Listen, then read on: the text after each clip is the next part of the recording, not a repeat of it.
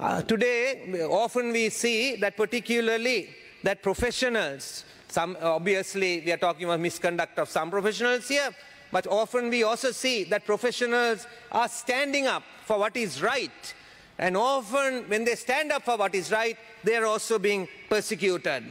As someone with a long track record in the private sector, many people told me before I came into politics, is it good to go into politics? Will there be reprisals when you are in politics? Now we have to change this system. Professionals, whether they are lawyers, doctors, journalists, police officers, public servants, accountants, bankers, business people, whoever they may be, career diplomats, civil servants, whoever they may be, they must be protected when they do their job. I want to remind this House that in 2015, we tried to do things differently. When the government came in, many professionals were allowed to remain in their positions. And notable among these were the heads of military intelligence and state intelligence services and the leadership of the criminal investigation department. Our government only had one CID head. And I want to make that point very clearly only one CID head, who was appointed in 2012 under Pre President Mahinda Rajapaksa.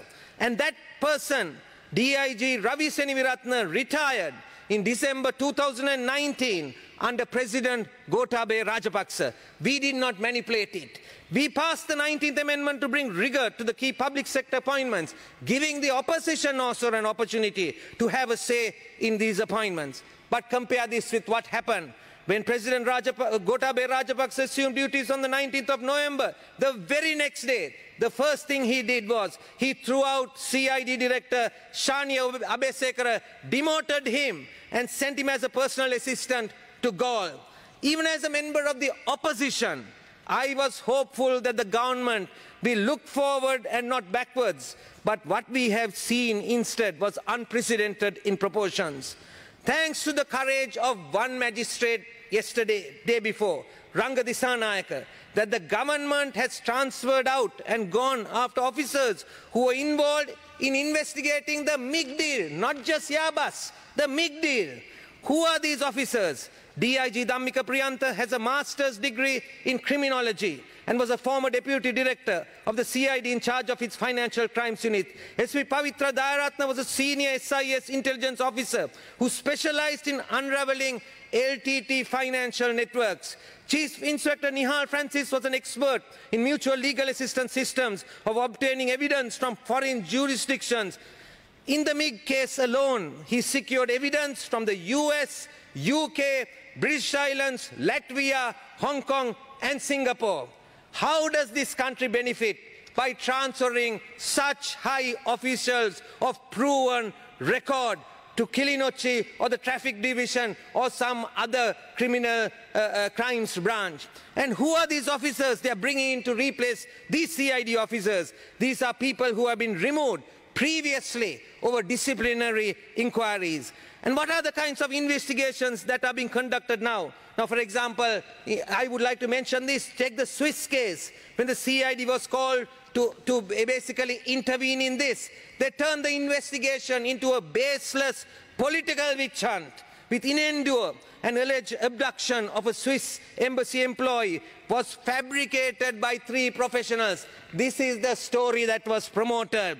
We have no problem in the investigation, but how other professionals were brought into this. The CID and the government wants us to believe that former Sunday Observer editor and New York Times journalist Dharisha Bastian, former CID director Shani Abesekara, and former Lake House and Hilton chairman, a wor former working committee member of the UNP, Krishantha Cooray, all got together to mastermind this fictitious abduction.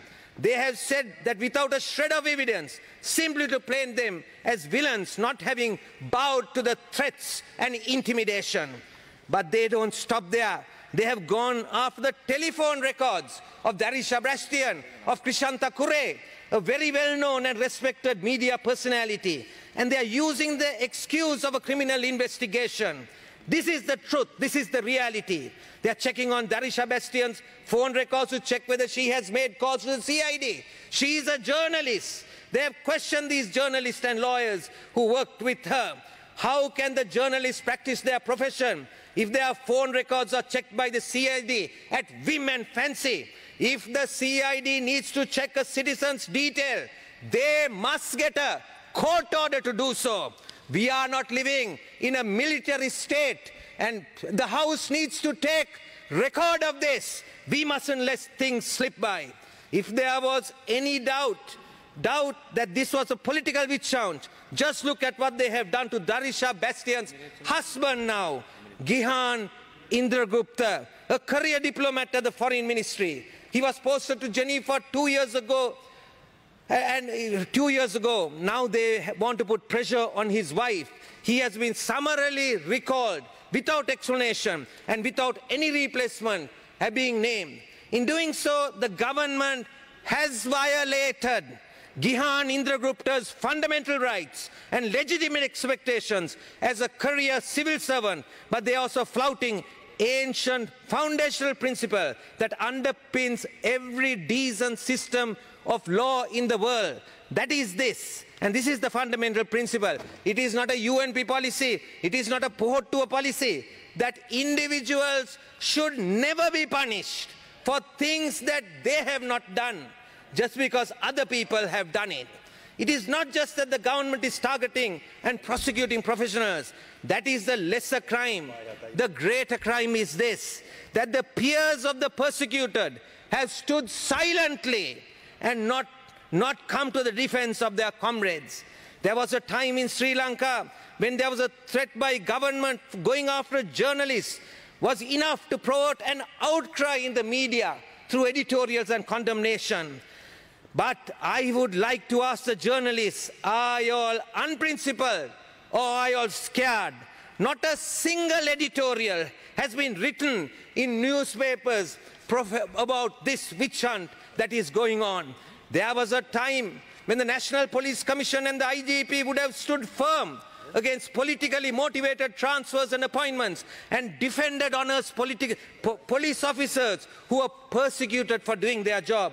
There was a time when the Bar Association of Sri Lanka would have risen up in arms if the government got the CID to summon an attorney at law and to grill her about confidential information and journalistic sources. I would like to ask the president of the Bar Association, don't you care? Don't you care about what's happening? It was left to a magistrate to stick his neck out and defend the professional police officers responsible for the MIG deal investigation and for Sri Lanka's first ever successful extradition of a criminal suspect. Now there is fear that those who stand between Udayanga Weeratunga and his freedom will be targeted. It's high time that all professionals stood up for those who are doing what is right. The only people whose integrity, honesty, professionalism stands between the government and the cover-up of a MIG deal are Fort Magistrate Ranga Disanayaka and the Attorney General Dappula de Livera. Already it has been reported that moves are underway to pressure the AG and to transfer or promote Ranga Disanayaka so that a more amenable magistrate could handle Udayanga Weeratunga's case. In this house, the Constitutional Council, the independent media, civil society must stand in solidarity with the magistrate and the Attorney General and shield them from undue influence. It speaks volumes for the arrogance and the entitlement of this government that Udayanga Weeratunga, the first cousin of the President and Prime Minister, was so confident that the CID was on his side and would not try to remand him. And never in his wildest dreams did he imagine that a magistrate would ask the ire of someone with his royal blood. But Ranga Disanayaka proved them wrong. I was glad that Honorable Chamal Rajapaksa said that he would look into these lapses by CID officials. I will conclude quickly. Professionals in this country must stand up for and protect other professionals, ensuring they are allowed to do their jobs with integrity. Police officers must stand up for their persecuted colleagues like Shani Abesekara, Nihal Francis. Journalists must speak out against the pathetic attempts to frame people like Dharisha Bastian for an abduction merely because she made a telephone call. Career diplomats, diplomats must stand in solidarity with Gihan Indragupta, who is being punished because of no fault of his own. Lawyers and the Bar Association must object to the harassment and interrogation of Anurangi Singh by the CID and the judiciary and stand guard against any attempt to prosecute Ranga Disanayaka for having the courage to stall stamp. Krishantha Cooray is a capable and committed man whom I have associated very closely.